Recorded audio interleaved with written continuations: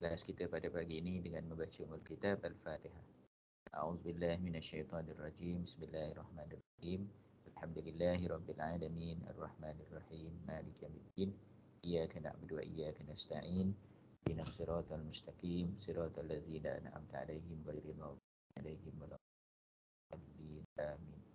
Bismillahirrahmanirrahim. Alhamdulillahi Rabbil Alamin. Wassalatu wassalamu ala sayyidina Muhammadin asyrafil anbiya wal mursalin wa ala alihi wa sahbihi ajma'in. Ya Allah ya Tuhan kami, ampunkanlah dosa-dosa kami, ampunkanlah dosa kedua ibu bapa kami dan kasihlah mereka sebagaimana mereka mengasihi kami masa kecil. Ya Allah ya Tuhan kami, kurniakanlah kepada kami ilmu yang bermanfaat untuk diri kami, keluarga kami, agama kami, bangsa kami dan negara kami.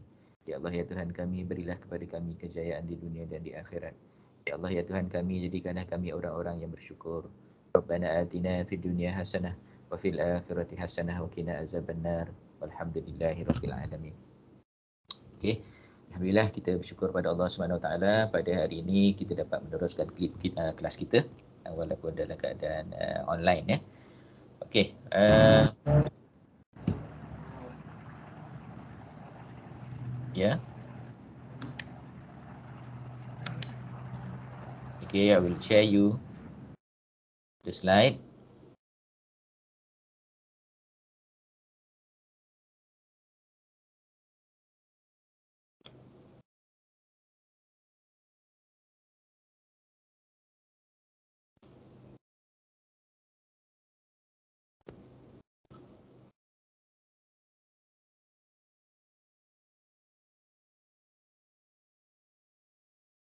Okay, uh, in the previous class, we have stopped here um, under the subsequent measurement, we have two choices.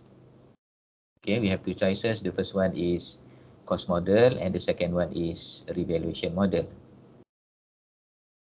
Okay, so for the initial acquisition, sorry, for the initial measurement, initial measurement, we do not have the the choice. We have to use cost model. And for uh, for subsequent measurement, we have two choices. That is cost model and revaluation model. Okay, let's go through this situation.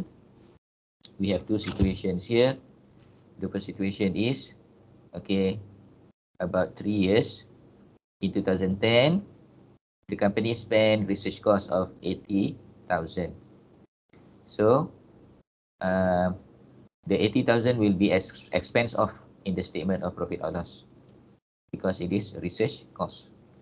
And then in the year 2011, the company spent development cost of 110,000. However, this 110,000 do not meet all the six recognition criteria. And okay, this amount will also be expense of to uh, profit or loss. Okay, and then in 2012, the company spent further. The company spent further 200,000 and at this time, this 200,000 meet all the six criteria for uh, recognizing an intangible asset. So what the company do, the company will capitalize 200,000 as intangible asset. This is the first situation. So what we can see from this situation, 80,000 expense of 110,000 expense of 200,000 capitalized as intangible asset. What about the second situation? In the second situation, the company also spent 80,000 for research costs and this research cost was expense of in the statement of Okay. And then in 2011, in 2011, the company spent further 110,000. At this time, the company feels that 110,000 meet all the six criteria for recognizing an intangible asset. So the company capitalized 110,000 as intangible asset. Okay, the company recognized 110,000 as intangible asset. What happened in 2012? The company spent further 200,000. But unfortunately, in the year 2012, the company feel that it cannot meet all the six criteria for recognizing an intangible asset. So 200,000 will be expense of. What happened to 110,000? In the year 2011, the company feel that it has met the six criteria. But in the year 2012, it does not meet the recognition criteria. So what the company has to do is to expense off yeah, the amount capitalized in 2011 as well as the amount spent in 2012. So there is nothing left as an intangible asset. All the cost spent, yeah, 80,000, 110,000, 200,000, all will be expense off. Okay, 80,000 expense off in the year it was incurred. Yeah. For 2011, it was capitalized initially and expense off, yeah, or written off in 2012 together with the cost that the company incurred in the year 2012. Can you see the difference between situation 1 and situation 2?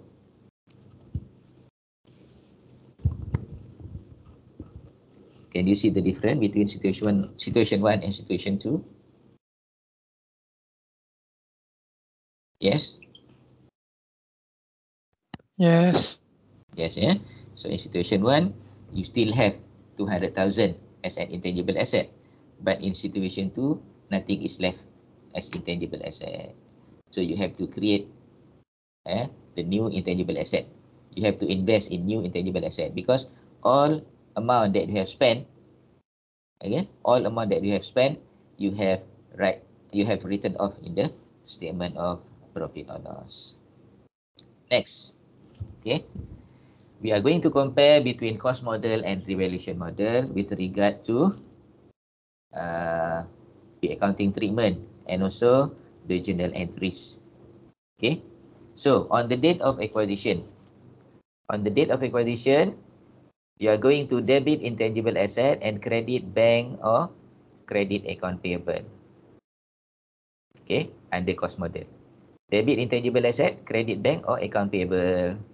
And then uh, during the amortization, you are going to debit SOPL for amortization and credit accumulated amortization. That is under the cost model. So every year we are, we are going to continue, you are going to continue to debit the amortization and credit credit accumulated amortization until the end of the life. You are going to continue. That is the cost model. But what is the difference between cost model and revaluation model? For revaluation model, the initial measurement will be the same as cost model. You are going to debit intangible asset, credit bank or account payable. And in the first year, you are going to debit amortization expense and credit accumulated amortization. The same as cost model. Okay. But what happened in second year? What happened in second year? Because you are choosing the uh, revaluation model. In the second year, you are going to reverse back the accumulated amortization and credit the intangible asset. If there is any revaluation. Uh, if there is any revaluation, you are going to debit accumulated amortization and credit intangible asset. It means you reverse back the accumulate, uh, accumulated amortization and you credit the intangible asset. Okay. Credit intangible asset for the amount of accumulated amortization, not all the amount of intangible asset. Okay. And the first time revaluation, the first time revaluation and the revaluation is surplus on revaluation, you are going to debit intangible asset and credit asset revaluation reserve if the first time revaluation is surplus on revaluation. However, if the first time revaluation is deficit on revaluation, you are going to debit SOPL and credit intangible asset. It is the other way around. If uh, surplus, you debit intangible asset. If uh, deficit, you credit intangible asset. That is for the first revaluation. And for the first revaluation. And then uh, for the second time revaluation, for the second time revaluation and revaluation is deficit on revaluation. What we are going to do, we are going to debit ARR if previous year we have surplus on revaluation. Yeah, if first time revaluation we have surplus on revaluation and second time revaluation is deficit, so we have to debit asset revaluation reserve up to the available balance in ARR. If there is no balance in the ARR, we are going to debit SOPL uh, debit SOPL for deposit on revaluation and credit intangible asset. Okay, that is for second time revaluation deficit. What is the what if the second time revaluation is a plus? If the second time revaluation is a plus, we are going to debit intangible asset okay, and credit SOPL if deficit previous year up to the maximum amount charged in the previous year SOPL and credit ARR. Okay, credit ARR. Okay, so this is the way I didn't put the figure, I didn't put the value, I only put the journal entry debit and and credit. Okay, so I hope you can follow this uh, uh, entry. Okay, This is the explanation about the journal entry just now. For revaluation surplus, if the fair value of the asset exceeds the carrying value, the surplus is known, uh, the surplus will be credited to equity. Credited to equity here means we credit to asset revaluation reserve unless the surplus is due to deficit on revaluation last year. In which case, the surpluses reverses on reverses a revaluation deficit.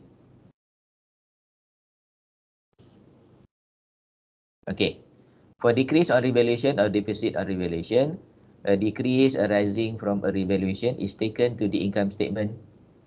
However, the decrease is debited to revaluation reserve to the extent of any credit balance in the revaluation reserve in respect of that asset. If let's say, for example, uh, you have decrease in the uh, decrease on revaluation, but previously previously you have increase in revaluation. You have to reverse first. If it is insufficient, then you are going to uh, debit the SOPM. Right?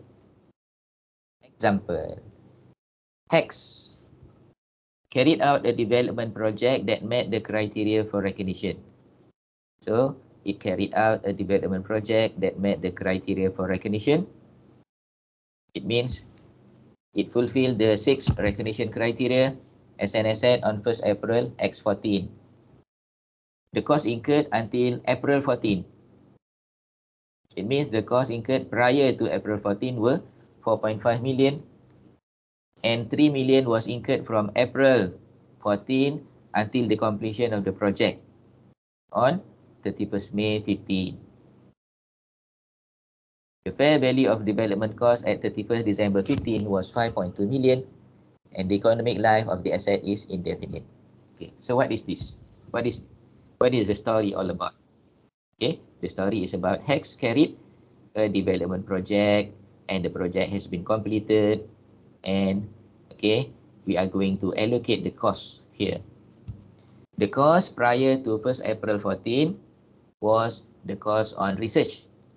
So 4.5 million was spent for research. Research is not an asset. Research is an expense. Therefore, 4.5 million is uh, going to be written off in the statement of profit or loss. What about 3 million incurred after 1st April until 31st May? It can be capitalized as intangible asset yeah, it can be capitalized as intangible asset 3 million until 31st May 15. However, on 31st March, sorry, 31st December 15, the value increased to 5.2. So which value we are going to take? The carrying amount is only 3 million and the fair value is 5.2 million. And the company is using the revaluation model. Okay. So we are going to compare the carrying amount 3 million and the fair value 5.2 million and therefore there will be a surplus on revaluation amounting to 2.2 million. So what we are going to do? First, intangible as sorry, intangible recognized only at 3 million. Intangible asset is recognized at 3 million only on uh, 15 April. On 15 April. Sorry, on 15 April. On 31st, on 31st May. So at 31st May, we can recognize this amount of 3 million. What about 4.5 million expense of yeah 4.5 million the cost incurred prior to 1st April 2014 will be expense of in the statement of profit or loss. And on 31st December 2015, since the fair value is 5.2 million and the original carrying amount is 3 million, now we are going to, yeah, we are going to compare and the difference of 2.2 million will be recognized as surplus on revaluation and will be recorded in the asset revaluation reserve. Asset revaluation reserve. So there are two places. There are two places to put this 2.2 million. The first place is below the statement of profit or loss. That is under the uh, other comprehensive income, 2.2 million. And the next place is asset revaluation reserve, 2.2 million also. Okay, class? Okay, sir. Okay, this is the second example. On 1st January 11. Okay, 1st January 11, Z, Z, Z, triple Z. Uh, triple Z, bukan tidur ni eh, triple Z. Acquired a franchise of 400,000. Okay, can you see the word acquired? What is the meaning of acquired?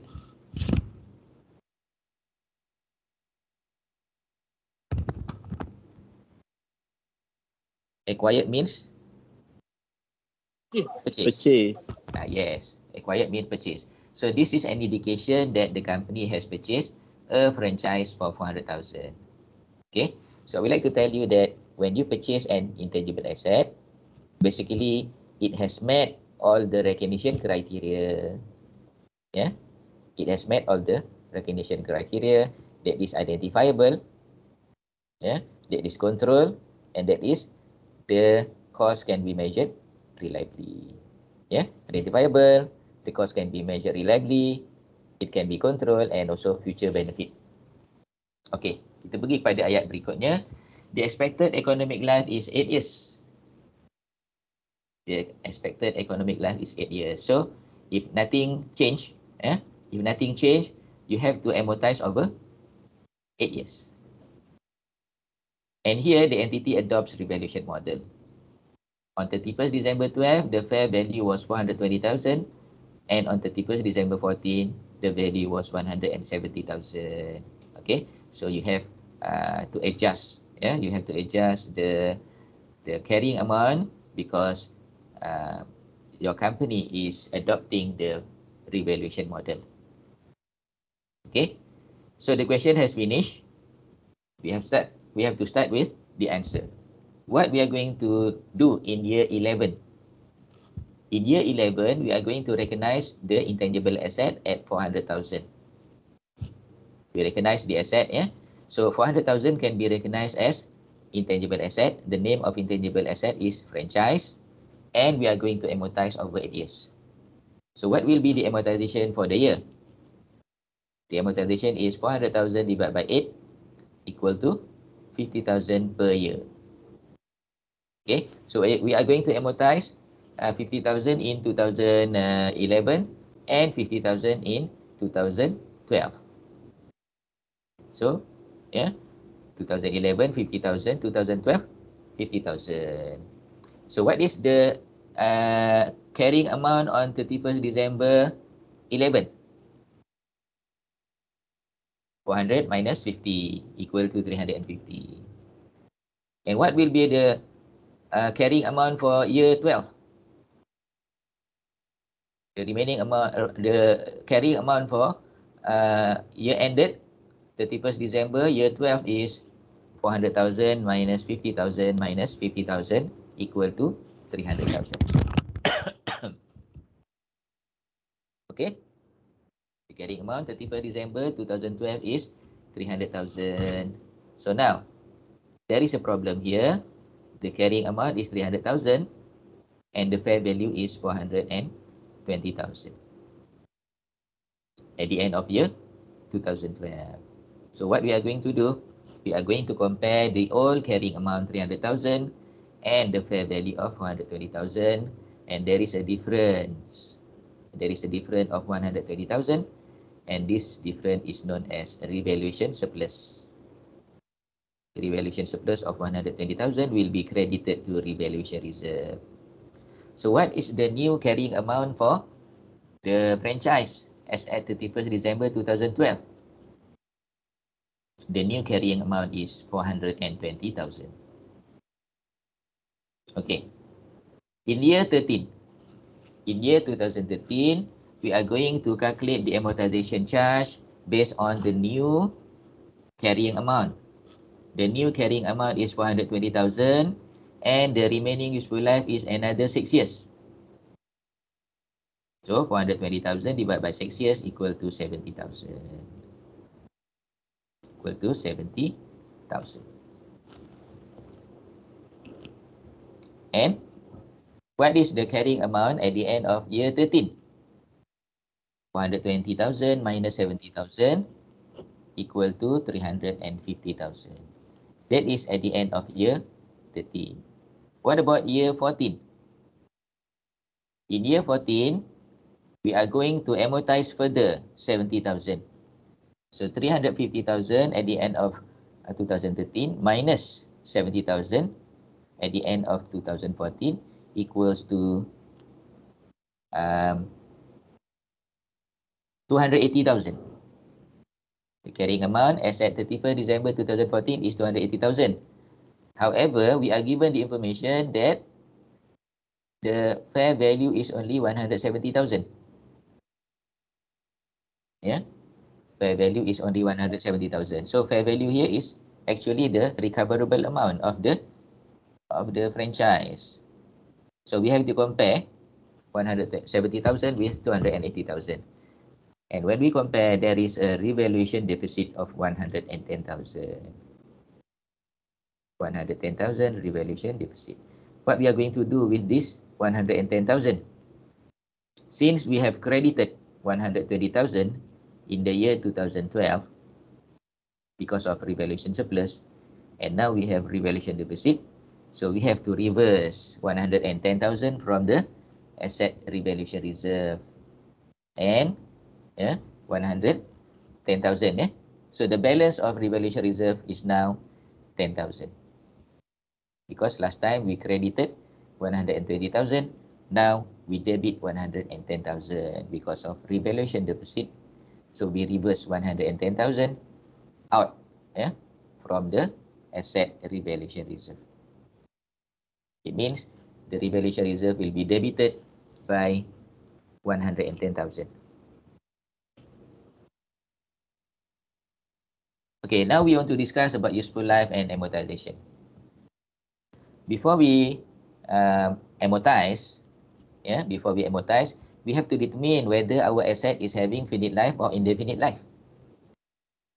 If our asset is having finite life, it means we can measure the useful life.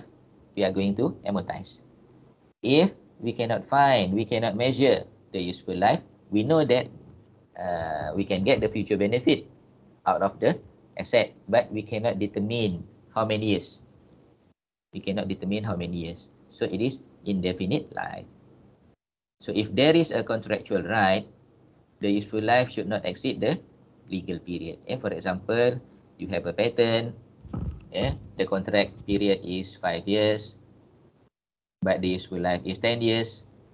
So your useful life is only five years useful life is five years. At times, the economic life could be shorter than legal life, in which the amortization should be over the economic life and not the legal life. So, if you have a contract of five years, but the economic life is only four years, so your useful life is only four years. Alright? You go to the first one, finite life. For finite life, we amortize on a systematic basis whatever asset, whatever intangible asset that we have and we can find the the number of years of life we are going to amortize on a systematic basis. And normally we are going to use the straight line method unless there is another method that is better a better method that can reflect the pattern of consumption of the asset. But normally we use straight line method okay related to finite life we may have residual value. We may have residual value or we may not have residual value. It depends. Residual value is zero normally unless there is a firm commitment by a third party to buy the asset at the end of the life. Okay, unless you have somebody, you have a third party that is willing to purchase the asset at the end of the life yeah, at the end of the line. And a firm commitment. A firm commitment, okay, it means the third party is, okay, really want to purchase. Uh, really want to purchase. Not only a hearsay, uh, really want to purchase the asset at the end of the line. Then you can put the residual value that is greater than zero. Or, or, yeah, there is an active market.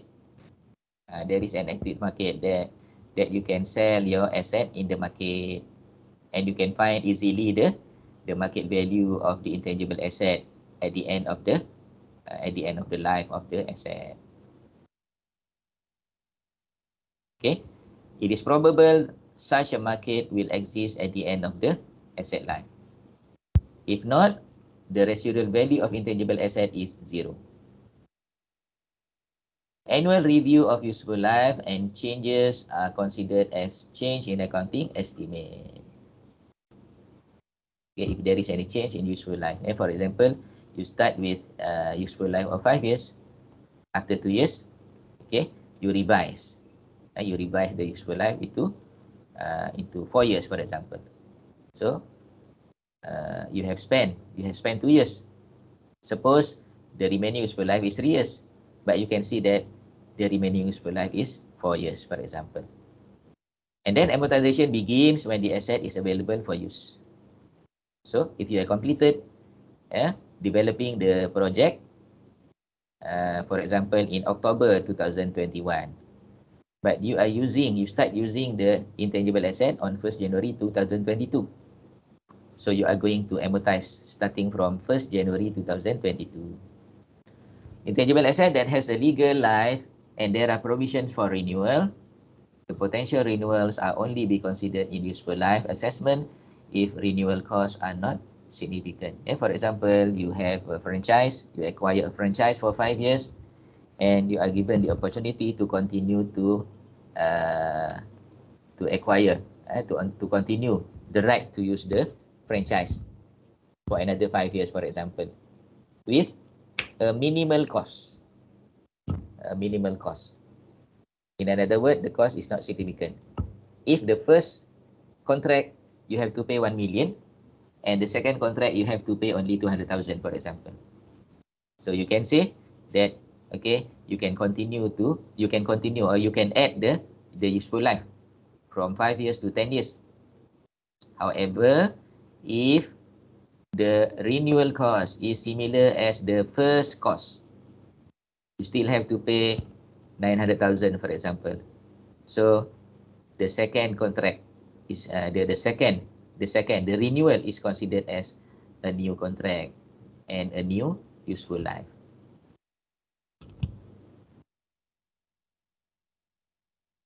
An example, an entity acquired the copyright to a popular song yeah, an entity acquired the copyright to a popular song and paid 100,000. It has a firm offer from a third party to buy the copyright at the end of five years for 40,000. So it is clear from here, the word acquired. Acquired means purchase. Okay, acquired means purchase. So if we purchase, we have met all the criteria. Identifiable, yeah. Uh, then uh, control, future economic benefit, and the cost can be measured reliably. Okay, at 100,000, it has a firm offer from a third party. Firm offer.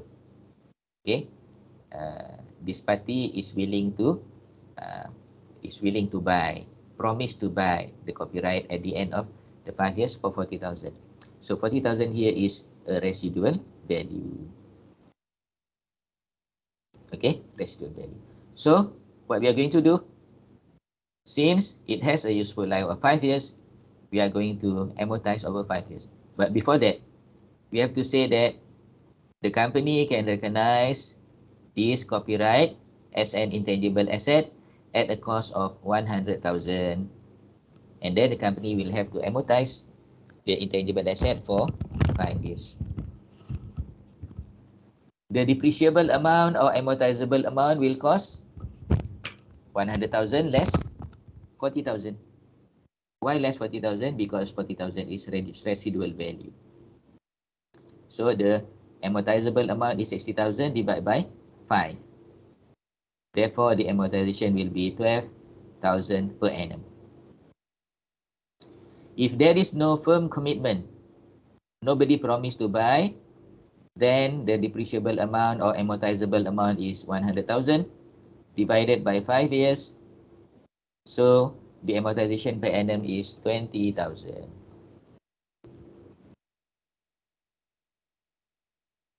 What about indefinite life? What about indefinite life? Intangibles with indefinite life are not amortized but tested for impairment annually or whenever there is an indication of impairment. Useful life of an indefinite life of intangible asset are recognized, are reassessed annually. So even though we know that this asset is having indefinite life, we have to reassess the life of the asset annually. Okay. Jadi mungkin mula-mula tu dia tak ada uh, we do not know. Uh, we cannot determine the the number of useful life. Okay. Initially we do not know what is the number of useful life. But after a few years we know that okay the life is only uh, another how many years. Okay. So it means we can we can identify the the number of remaining useful life.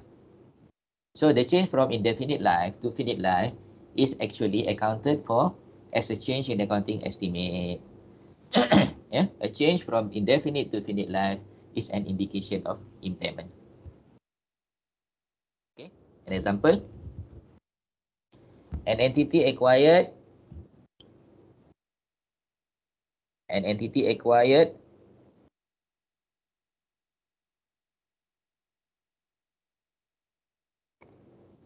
the legal title to a leading brand acquired a brand. So the word acquired means purchase.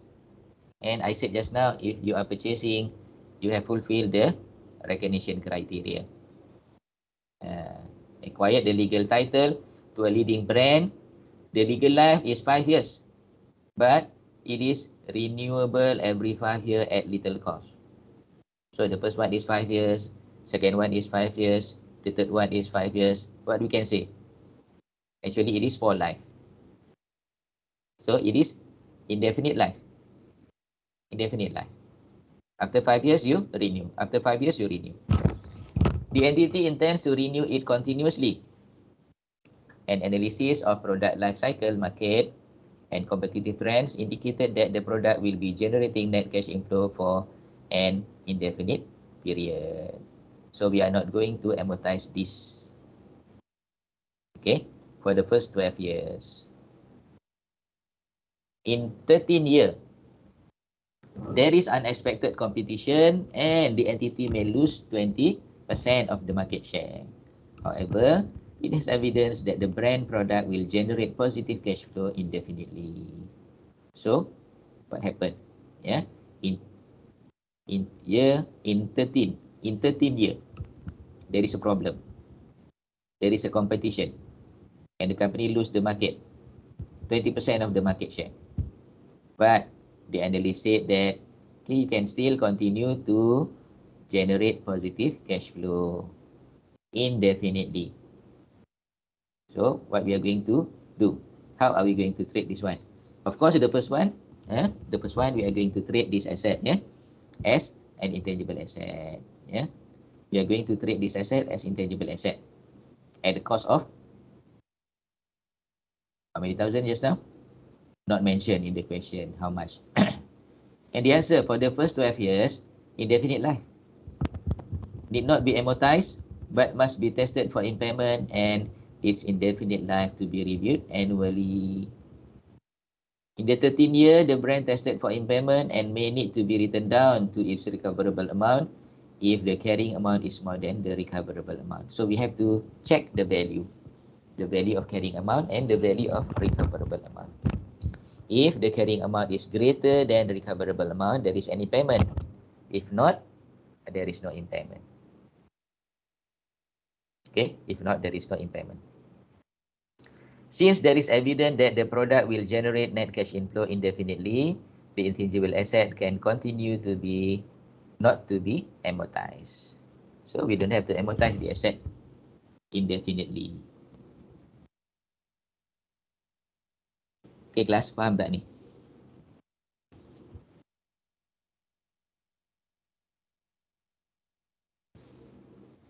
Faham tak? Am I going too fast?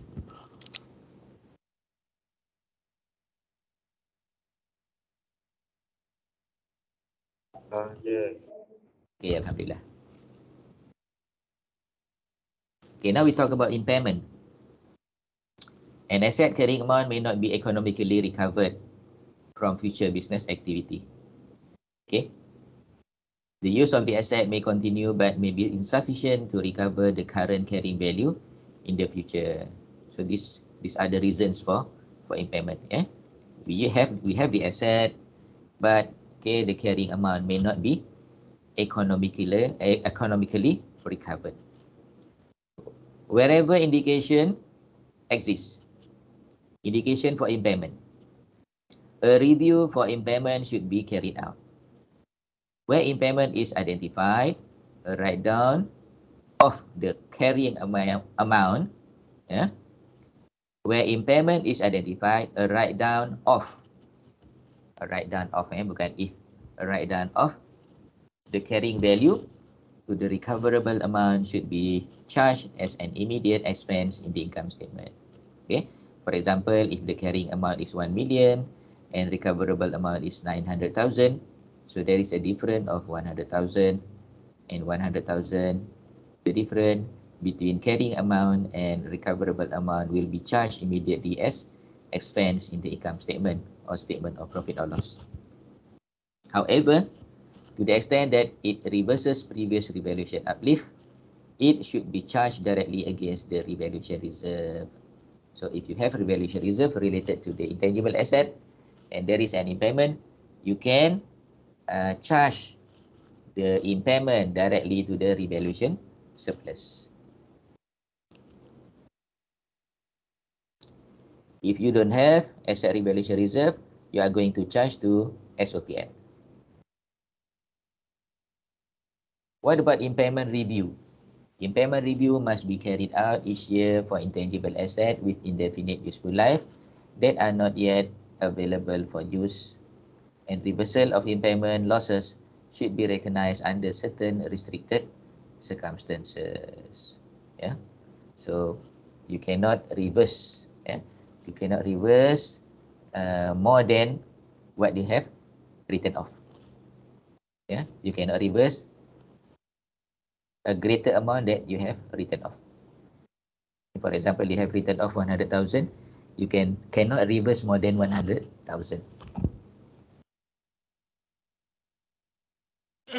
and then the, recognition, the recognition in earlier in earlier class, we learn about recognition.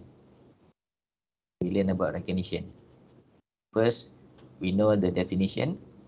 And secondly, recognition. Okay, what does it mean by recognition? Whenever we acquire an asset, we recognize the asset in the statement of financial position. Whenever the asset has been retired or the asset has been disposed It is known as derecognition. So what is derecognition? We take out the asset from statement of financial position. When an intangible asset is disposed of, it is eliminated from the statement of financial position. This is also required when an asset is permanently withdrawn from use and has no future economic value. So even though okay, the asset still exists, but the asset already retired. The asset already retired. We cannot use the asset anymore. So we have to take out the asset from the statement of financial position. Any gain or loss arising being the difference between any disposal proceeds and the carrying amount is recognized in the SOPL, being it a gain or a loss. Loss will be uh, charged, yeah, will be charged to statement of profit or loss. if it is a gain, it is also recorded in the statement of profit or loss. An inter-reserve transfer is made for any element of the revaluation reserve relating to the asset to transfer the balance to retain any.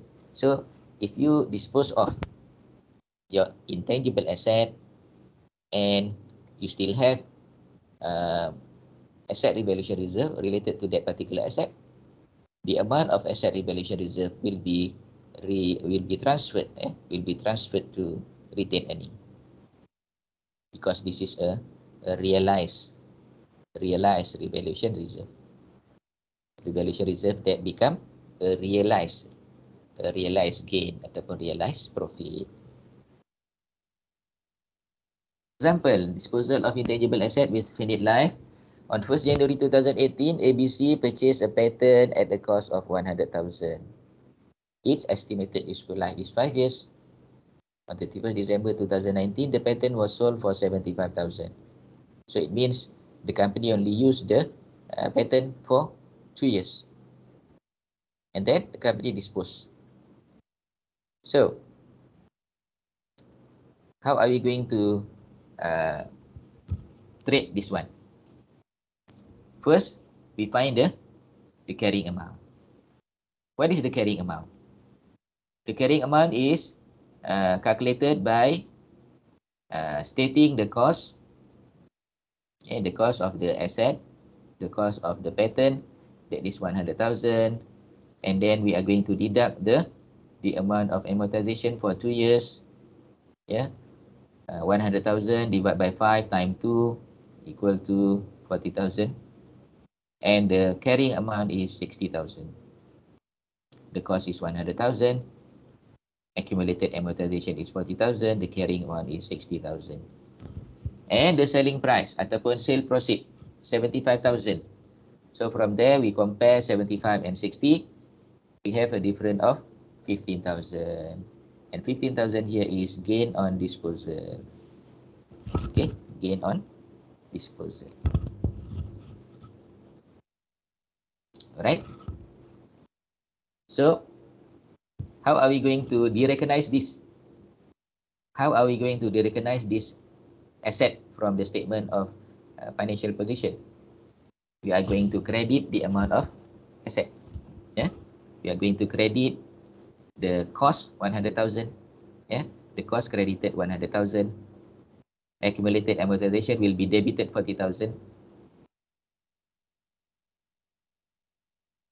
And the gain on disposal and the gain on disposal will be credited to statement of profit or loss amounting to uh, 15,000.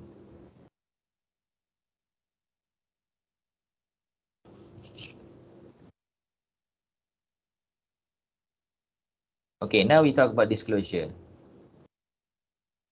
Disclosure is the last part of uh, any items in the financial statement. Okay, what we have to do about intangible asset, we need to disclose each class of intangible asset, distinguishing between internally generated and other intangibles. So at least we have two classes. The first one is internally generated intangible and the second one is other intangibles. At least two classes. Whether the useful life are indefinite or finite, we have to mention. And if finite, the useful life or the amortization rate used will be mentioned. And then the amortization method used for intangible asset with finite useful life will have to be mentioned. Number four, the gross carrying amount and the accumulated amortization aggregated with accumulated impairment loss. at the beginning and at the end of the period need to be disclosed and the line items of intangible in which any amortization of intangible asset is included.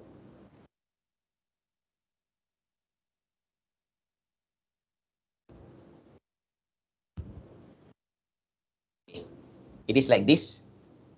Okay, there will be three layers. Eh? Three layers. What I mean by three layers, the first layer is cost. Balance brought down of course. And then any addition or subtraction of course. And at the end, we have the balance carried down of the cost. That is the first layer. That is the first layer. The second layer, the second layer will be accumulated amortization. And we have to show the balance brought down, and we have to show the charge for the year. CSARGE actually. Yeah. CSARGE, charge for the year. And the balance carried down for the year. And lastly, we compare the the balance carried down of the cost and balance carried down of accumulated amortization and we find the carrying amount. In this case, the carrying amount is 60,000.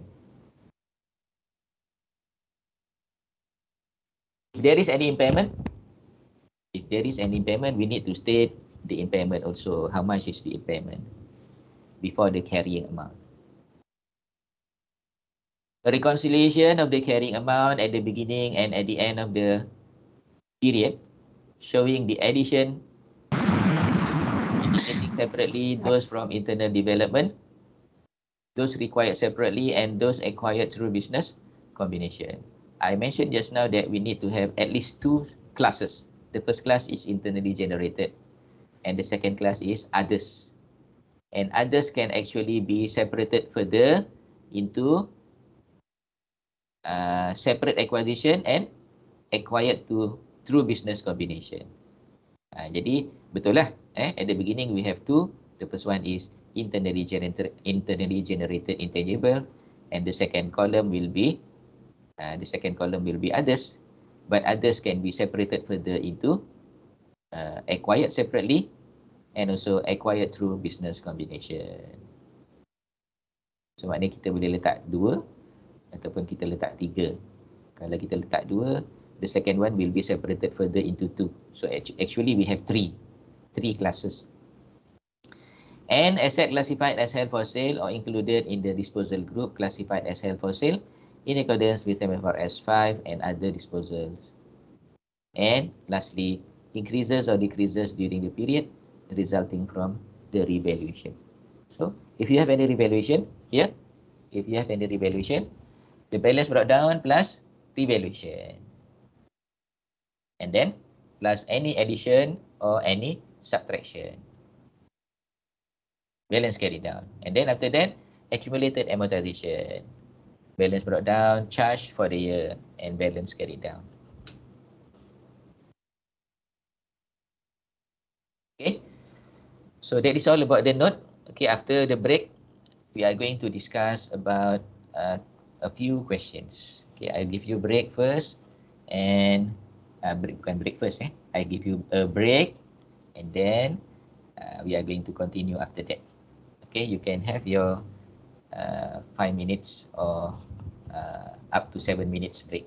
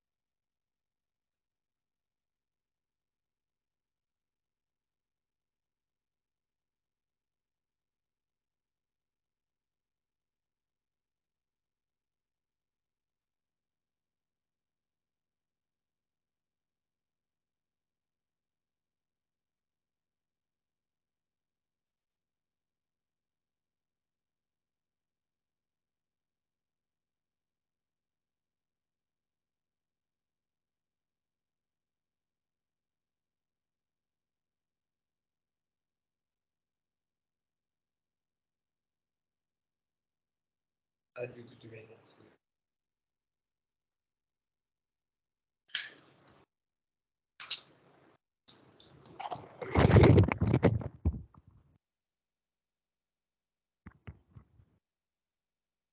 Tak start lagi eh. Sorry sir. Oh dah start. Dah break,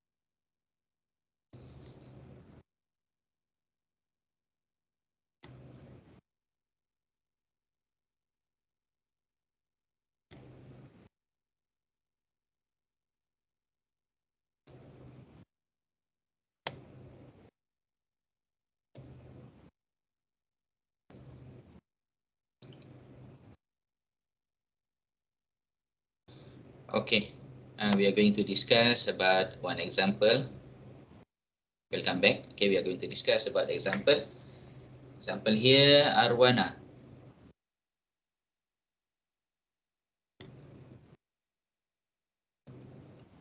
Okay, Arwana is involved in a project to develop a new software for a computerized machinery.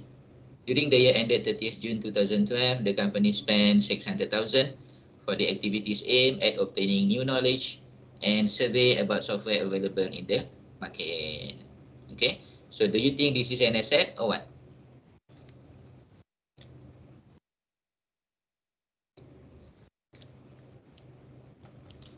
This is a research phase or this is a development phase?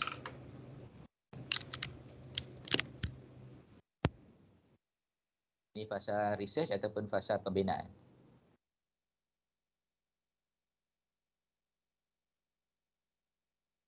Can you hear me? Research. Uh, research, yes. Good. It is a research stage. And what we have to do? 600,000. Are we going to capitalize as an asset? Or we are going to write off as an expense? Write off expense. Right. Yes. Okay. Write off as an expense. Good. Okay. Second paragraph. During the year ended 30th June 2013, the project was successfully completed and the company managed to come up with a new software named Fiction. The cost incurred was 1 million. The market research has shown that the software will be able to be marketed and to derive future economic benefit.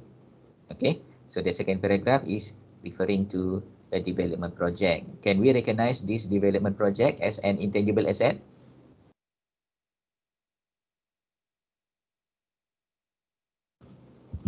Can we recognize this 1 million as an intangible asset?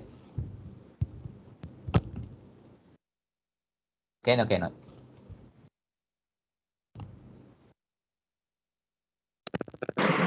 Can. Yes, you can recognize. Yeah, you can recognize because the project was successfully completed and the company managed to come up with the new software. The cost incurred 1 million. The market research that is important, shown that the software will be able to be marketed and to derive future economic benefit. And then on 1st July 2013, Fiction was launched. The company expects that the software will be in the market for five years. Okay. During the year ended 30th June 2014, Arwana also spent 50,000 to patent the software. So what about this one? Can we recognize as an asset, the patent?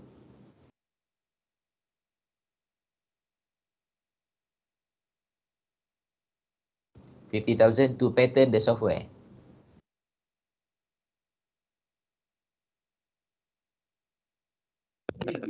Hmm.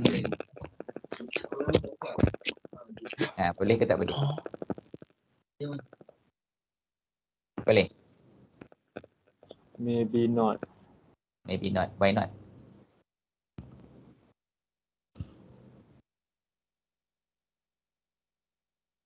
Why yes, why no? Why no?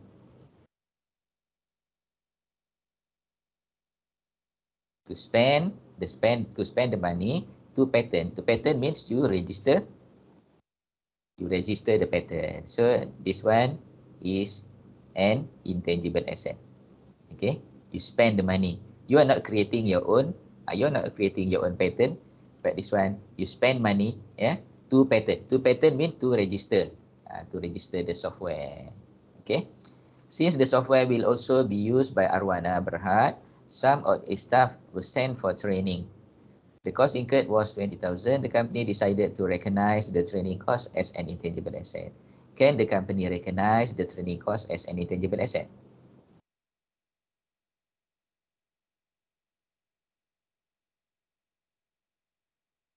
Can the company recognize the training cost as an intangible asset? Can or cannot? can. Can. Why can?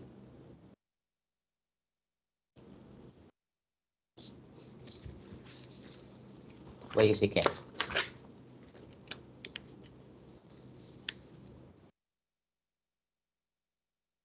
Your answer must have reason. If you say cannot, you must have reason. You say can, then you have a reason. Why you cannot? Why you can? So you said can. Why? Is it because the company want to recognize? Yes. Okay. Company want to recognize. But MFRS 138 allow or not to recognize? Not good. Ah, dia tak bagi recognize. Jadi the company is wrong. Yeah, the company is wrong. So we have to decide. Uh, the company decided to recognize, but the company is wrong because MFRS 138 okay prohibits uh, prohibits the company yeah from recognizing training uh, training cost because training cost we cannot control the staff. Eh, we cannot control the staff. Yes, eh, the training cost can improve the capacity, can improve improve the efficiency. Okay, you can get the future economic benefit, but you cannot control the staff that was sent to training. So the word control there, yeah, you cannot control. Arwana also acquired the customer list for 10,000 to broaden the target market for a software. The customer list can be used for two years. Can this customer list be recognized as intangible asset?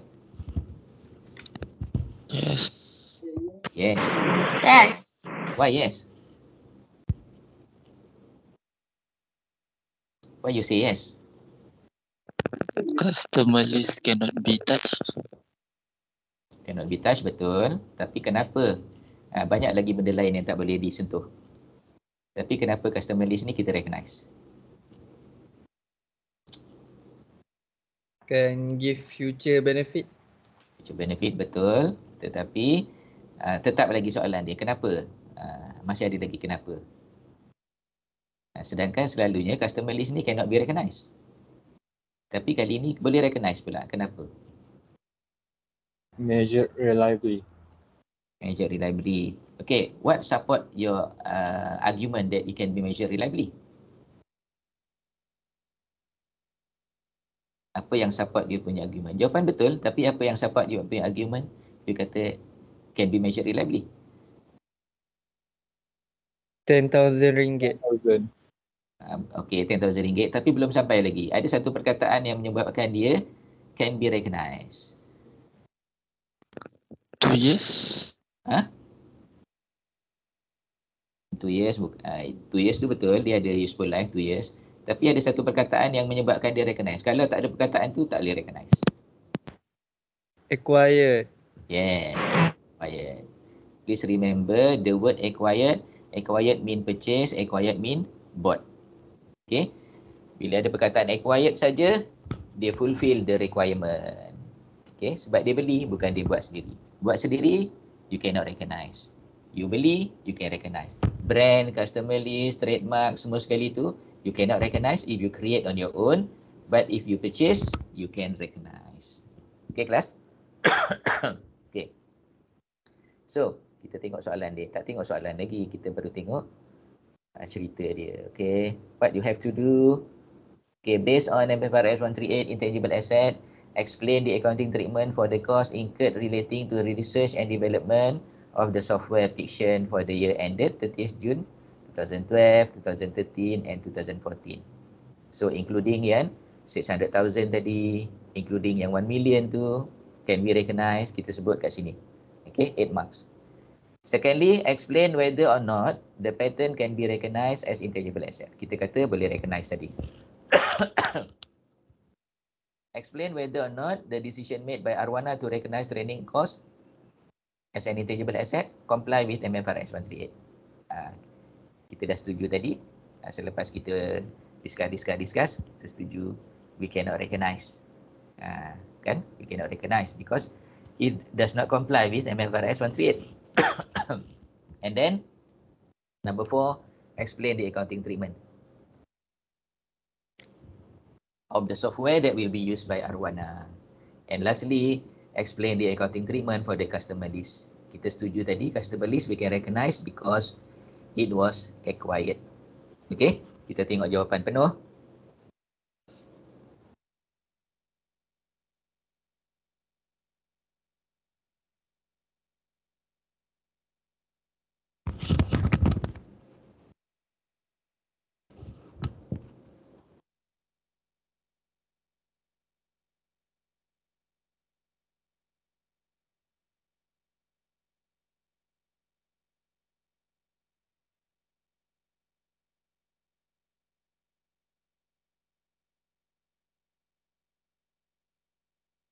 Okay, kita tengok jawapan daripada atas sekali.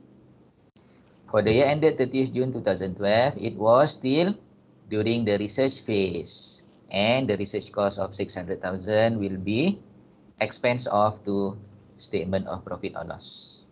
Because of uncertainty of future economic benefit that will flow to the entity. For the year ended 30th June 2013, the development cost of 1 million can be capitalized and recognized as intangible asset because expected future economic benefit will flow to the entity. Kan ada market, ada market research semua dia buat. For the year ended 30th June 2014, since the product has been launched on 1st July 2013, the development cost should be amortized over its finite life of 5 years. Then about the patent, the patent can be recognized as intangible asset because it is identifiable asset controlled by the entity and future economic benefit can be derived from it and the cost can be measured reliably. Okay. Please remember the keyword is acquired. Okay. Tapi pattern ni dia tak ada sebut perkataan acquired. Uh, pattern ni tadi dia tak ada sebut perkataan acquired. Apa dia sebut? To pattern. Uh, to pattern. Untuk mempatentkan. Ha, jadi to patent maknanya to to go to the uh, my po eh? My po ni adalah tempat untuk kita register patent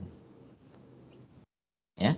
kita registerkan patent so registering the patent we are paying actually. We are paying to the registrar of patent okay? Kemudian yang seterusnya decision by Arwana to recognize training cost as an intangible asset does not comply with MFRS 138 because training cost cannot be recognized as an intangible asset since there is no control over the staff. That is, the staff can leave the company anytime. So the cost incurred 20,000 should be written off to SOPL. Number four, the software that will be used by Arwana can be recognized as intangible asset because it meets the quality of intangible asset that is identifiability, control and future economic benefit that will flow to the entity. If the software has a finite life, it should be amortized over its useful life. But if it has an indefinite life, then it should not be amortized but tested for impairment annually and whenever there is indication that the asset is impaired. And lastly, the customer list. Why we can recognize the customer list? Because the customer list was acquired. The customer list was acquired. So it can be recognized as an intangible asset because it is identifiable, it can be controlled, and future economic benefit will flow to the entity. Since it has a finite life, it should be amortized over two years. Okay, kelas? Rasanya boleh dapat 20 tu?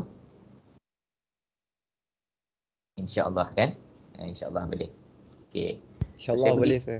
Ah boleh boleh insyaAllah. So saya pergi kepada soalan yang kedua. Soalan yang kedua.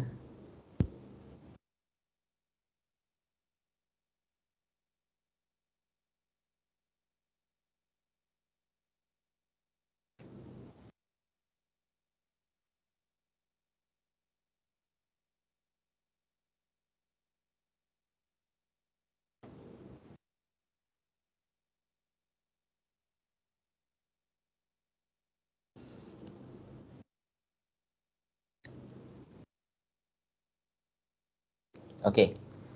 On 1st January 2014, Atis Sendirian Berhad, a manufacturer of consumer product, has purchased a trademark. Can, can you see the word purchase?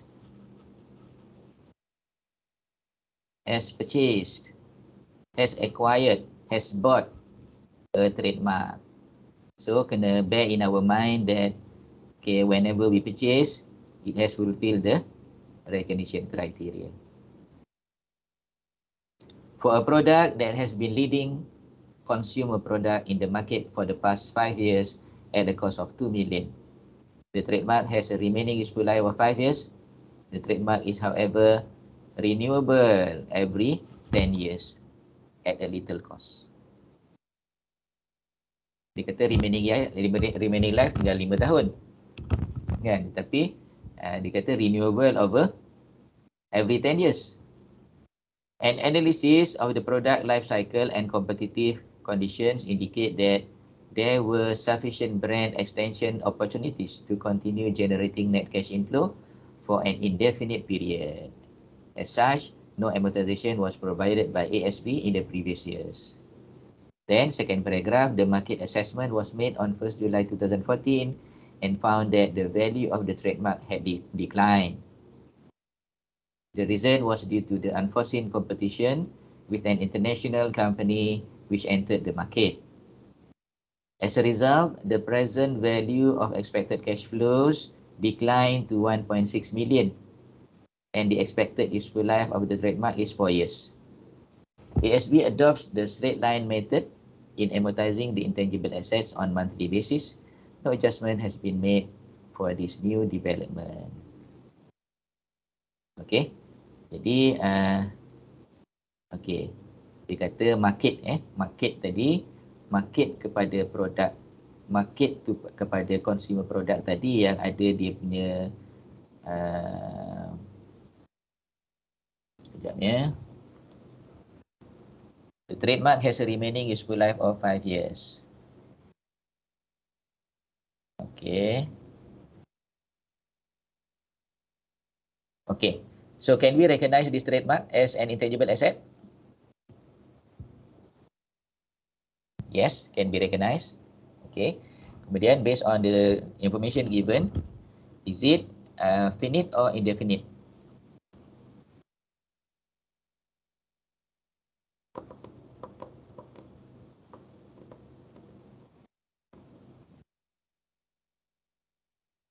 Infinite. Indefinite ya, indefinite. Okay, saya kena delete lah ni the trademark ada 5 years ni kena delete lah. Dia akan dia akan me, apa? menyebabkan kita confuse.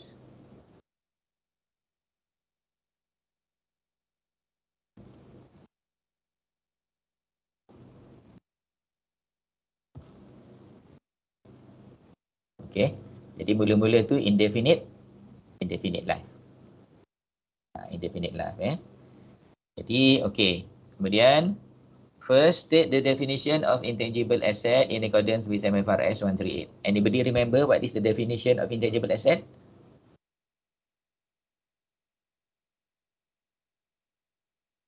Siapa boleh ingat?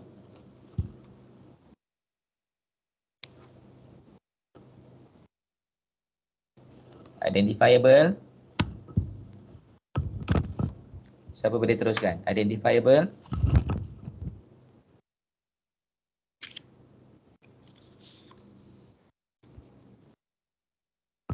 Can continue? Identifiable. Identifiable. Aha. Non Can be monetary- controlled. Identifiable. None. Non-monetary assets that Yes. have no physical substance. Yes. Yeah. Identifiable non-monetary asset that uh, without physical substance. Okay, itulah definition of intangible asset. So ada tiga perkara kat situ. Identifiable, non-monetary asset dan no physical substance. That is intangible asset according to MFRS 138. okay. And then B, explain the accounting treatment of the above trademark for the following event.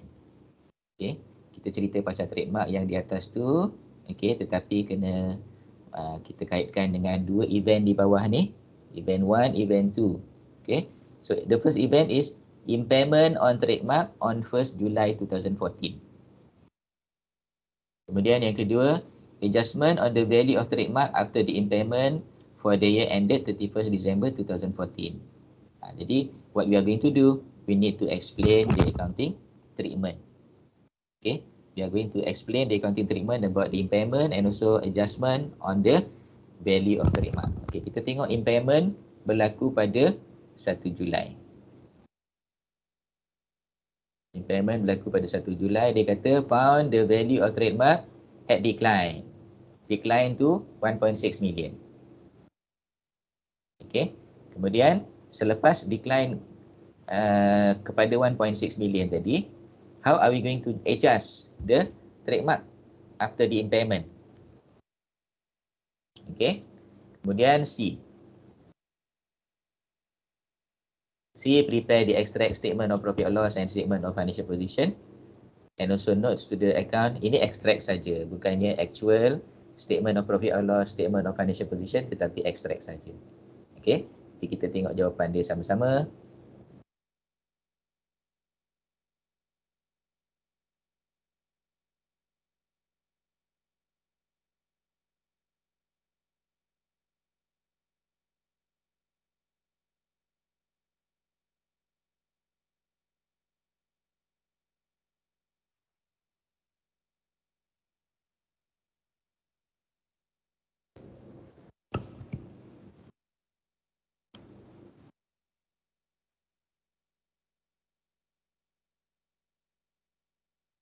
Okay, this is the definition.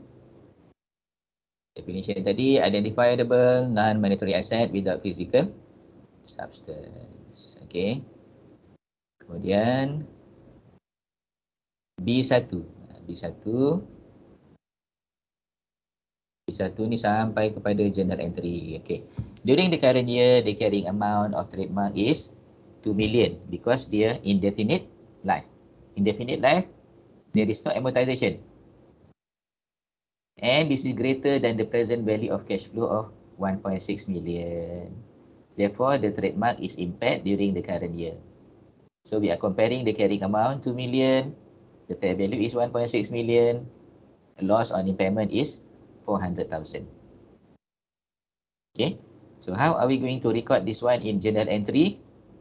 We are going to debit impairment loss in SOPL and credit trademark by 400,000. That is the first event. First event iaitu impairment. Impairment happen on 1st July. So after we adjust for the impairment, selepas kita adjust for the impairment, how are we going to treat? Okay, the treatment after the impairment is basically about the amortization. Okay, so after impairment, after impairment, the remaining useful life is 4 years. Mula-mula tak ada useful life. Selepas berlakunya impairment, ada pula useful life. So, the useful life of the trademark now change from indefinite to finite useful life. It has a finite useful life of 4 years. And the amortization in 2014 was only 200,000. Why it is 200,000? Okay, let's look at this calculation. Okay, let's look at this calculation. The new carrying amount is 1.6 billion. And amortization for the current year is only for for six months. Amortization for the year is only for six months because okay, only six months left. Dia 1 Julai, impact impairment 1 Julai. Untuk sampai akhir tahun 31st December. So the impairment is only from 1st July until 31st December. Therefore, 1.6 million divided by 4 times 6 over 12 equal to 200,000. Okay, so journal entry to record this amortization, debit SOPL 200,000, credit accumulated amortization 200,000. Okay, class? Next, to prepare the to prepare the extract extract of statement of profit or loss. So what will be included in the extract profit or loss? We have only two items: expenses, loss of impairment, loss on impairment 400,000, and also amortization of trademark 200,000. What about the statement of financial position extract? There is only one item, intangible asset, trademark. The balance is 1.4 million. And the extract of notes, the note on intangible asset. The note on intangible asset, the cost, the cost when the company purchased the asset, 2 million. Balance asset 31 December 2014,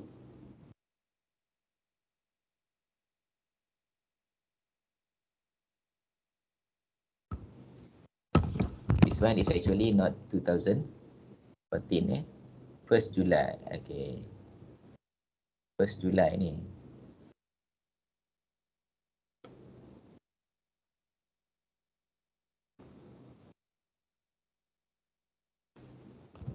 First July 2014.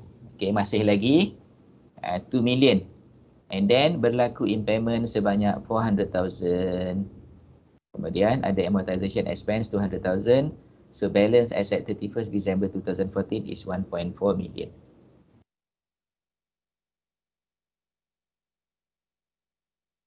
Okay, 1.4 million.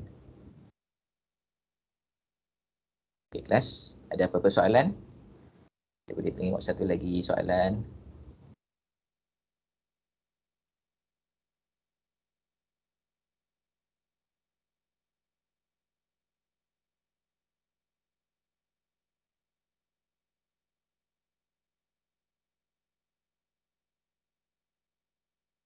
Okay, we go to the second question.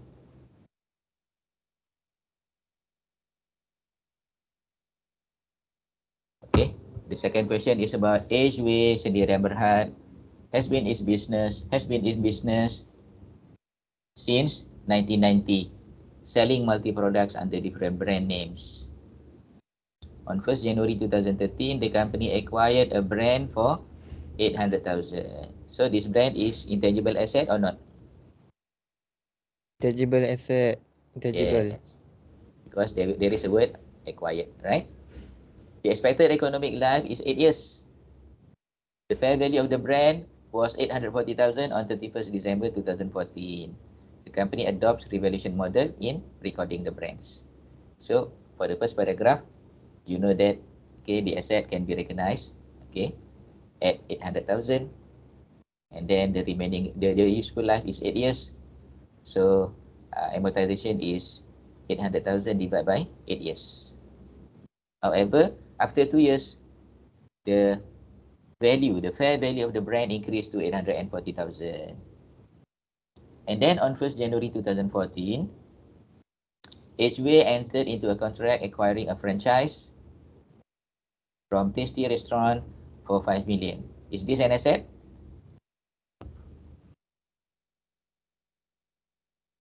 Acquiring a franchise? Yeah. Yes, yes, yes, yes. It is an intangible asset, yeah, and amounting amounting to 5 million. The company can use the recipe of Tasty Restaurant for the next 10 years At the same time, the company has to buy equipment and furniture from the franchisor at 2 million. Additional cost of 580,000 and 93,000 were also incurred for advertising and staff recruitment respectively. So, franchise tadi, intangible asset and the life is 10 years. The company completed development of a new product called Beauty Veil that can enhance the youth of the skin. The expenditure incurred for the year ended 31st December 2014 on development of the product was as follows. So we had a lot, we have a lot of costs here. However, which one can be included as part of development costs? The first one, feasibility study of the product. Can we include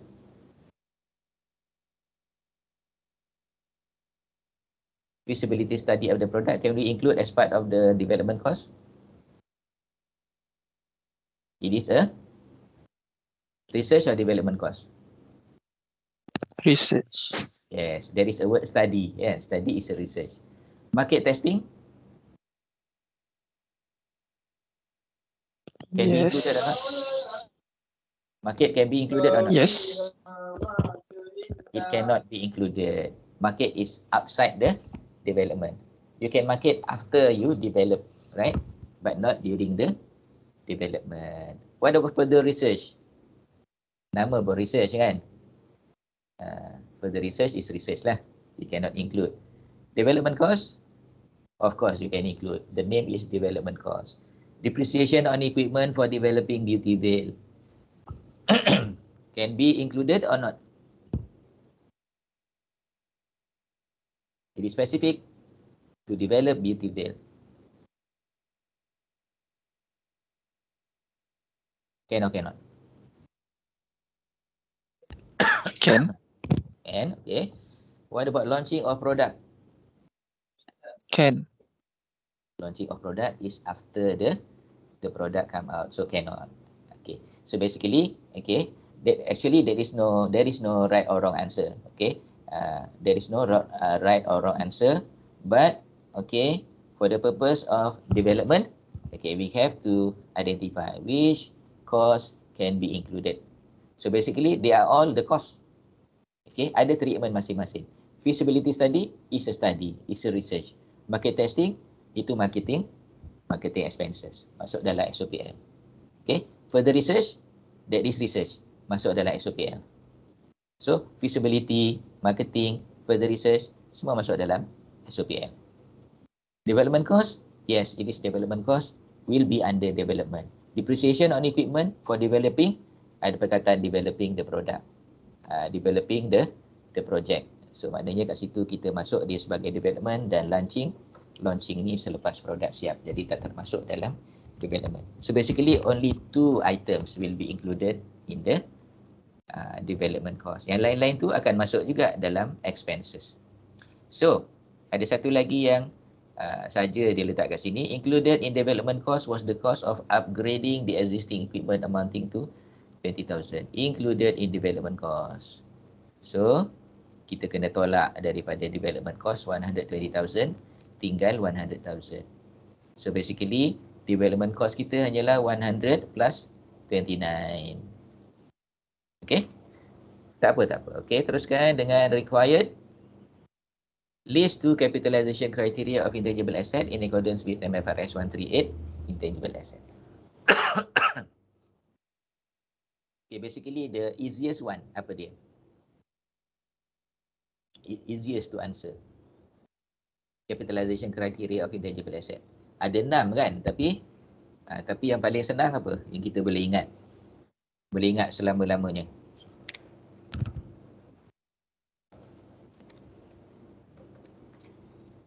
apa dia? Criteria for intangible asset. Ingat tak?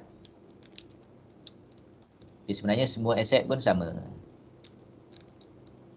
Tangible ke intangible pun sama juga. Yang pertama, future economic benefit. Yang kedua, the cost can be measured reliably. Itulah yang paling basic lah ya. Okay, tapi dia ada enam, kita boleh pilih lah mana-mana dua daripada enam tu. Okay.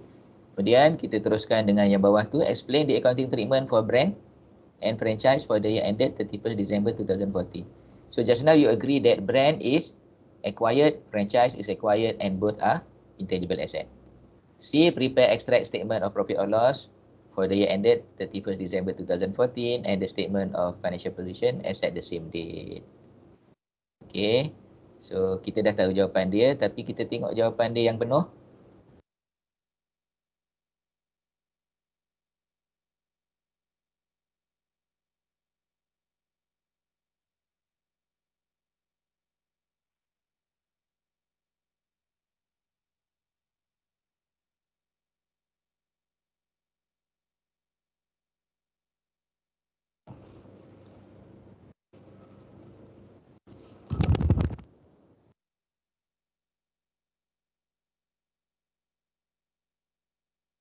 Okay, ini dia the capitalization criteria for intangible asset shall be recognized if and if an entity can demonstrate the following. So ada enam ni kita boleh pilih dua kan. Technical feasibility, intention to complete, ability to use or sell it, uh, generate probable future economic benefit, availability of adequate technical, financial and other resources to complete, its ability to measure reliably the expenditure attributable to intangible asset during the development. Pilih dua saja. Okay, now we talk about accounting treatment for brand and accounting treatment for the franchise. Yeah. The acquired brand is recognized as intangible asset at the cost of 800,000. Since the brand has a finite useful life, the amortization is provided accumulated amortization as at 31st December 2014 is 800,000 divided by 8 times 2 years equal to 200,000. The carrying amount of brand is 600,000. Since the company adopts the revaluation model, the fair value of 840,000 is compared to the carrying amount of 600,000. So which one is bigger, 840 or 600? Of course, 840. The fair value 840. The carrying amount is 600. Result in a surplus on revaluation of 240,000. And the surplus is credited to the asset revaluation reserve. Okay. What about the franchise? The franchise amounting to 5 million can be recognized as intangible asset as at 1st January 2014. The franchise will be amortized over its useful life of 10 years. The amortization expense for the year ended 31st December 2014 is 500,000. That is 5 million divided by 10 years. And the carrying amount, eh? the carrying amount is 4.5 million. And lastly, for this question, the extract statement of profit or loss for the year ended 31st December 2014, the long one. Okay. The extract statement of profit or loss for the year ended 31st December 2014 comprise of expenses. The first one is amortization of brand, 100,000. 800,000 my, uh, divided by 800,000 divided by 8 equal to 100,000 about the franchise? Franchise 5 million divided by 10 equal to 500,000. And then advertising. Eh, advertising is 580,000. Staff recruitment cost 93,000. Feasibility study 55,000. Market testing 14,000. Further research 23,000 and launching of product 30,000. Whereas the extract statement of financial position as at 31st December 2014, we have intangible asset, okay, development cost amounting to 120,000 minus 20,000. Yeah, 20,000 is what? Uh, upgrading, yeah, upgrading the equipment. And then plus 29,000. So 129,000. The brand value is 840,000 and the franchise value is 4.5 million. What about the reserve? The reserve is asset revaluation reserve amounting to 240,000.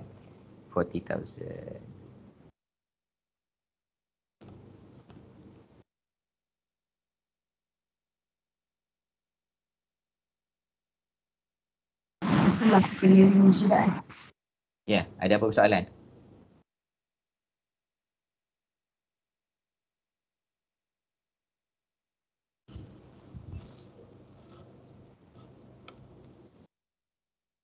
Ada apa persoalan? Boleh faham ya tiga soalan uh, yang kita discuss pada hari ini. Sebenarnya ada satu soalan lagi tapi saya rasa masa tak berapa cukup. Jadi mungkin saya saya rakam soalan tiga tu dan saya bagilah. Ini saya bagi pada awak. So kelas ni sepatutnya kita ada Betul kita ada kelas ganti pada hari Selasa ke? Esok? Eh bukan, bukan esok kan? Hari ni Ahad. Kelas ganti pada hari Selasa, betul eh?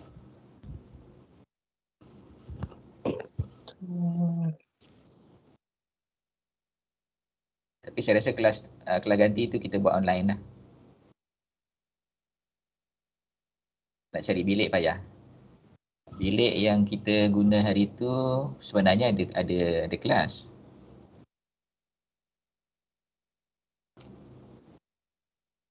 Bilik yang kita guna hari tu ada kelas. Dia tak ada student tu sebab uh, LCD projector rosak.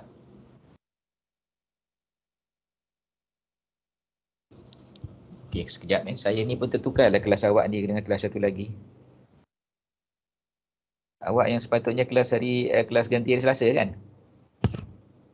Betul tak? Betul. Ya, betul. Betul. Betul. Ha, jadi betul lah yang kita buat kelas dekat blok uh, karyawan tu kan? Ha. Ha, Okey, jadi um, maknanya kita nanti uh, bincang-bincang kemudian kita kita buat kelas ganti juga sebab kita hutang kelasnya ada 4 jam tau. Dua kali hari Ahad. 4 jam. Jadi kita baru dapat satu jam. So, kita kena kena ganti sikit-sikit sampai habis lah. So maknanya you decide nanti uh, kita nak buat pukul berapa pada hari Selasa tu. Okay. Ada apa persoalan berkaitan dengan uh, ni intangible asset ni?